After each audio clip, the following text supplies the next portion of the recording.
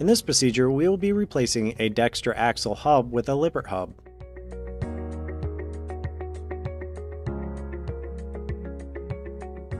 First, remove the dust cap by using a flathead screwdriver to pry it out from the hub assembly. Rotate the hub assembly and pry evenly around the edge until it comes free. Next, remove the tang washer.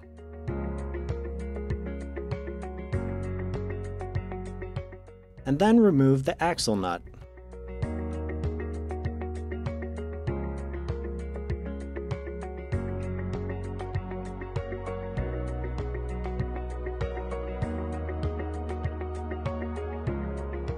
Remove the spindle washer and outer bearing from the hub.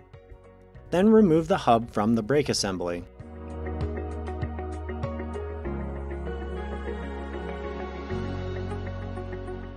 Using a clean rag, clean all the grease off the spindle. Install hub onto brake assembly. Then insert the outer bearing into the hub bore.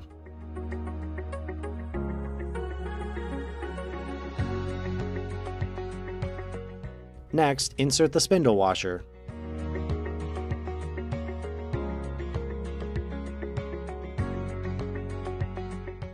You can now install the axle nut until it is finger tight.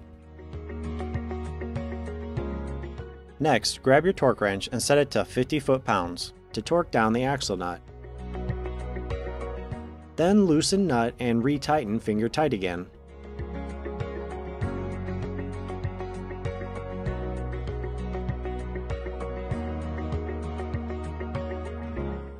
Then install the tang washer.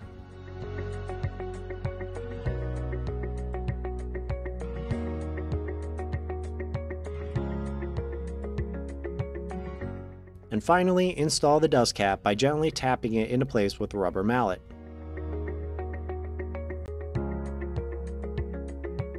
Now with our brake assembly properly secured, we need to reconnect our power and ground wires to the brake assembly. To do this, simply grab your power wire from both the axle and the brake assembly and insert them into a 3 amp Scotch lock. Crimp down the Scotch lock securely to ensure a good connection. Then repeat this process for the ground wires.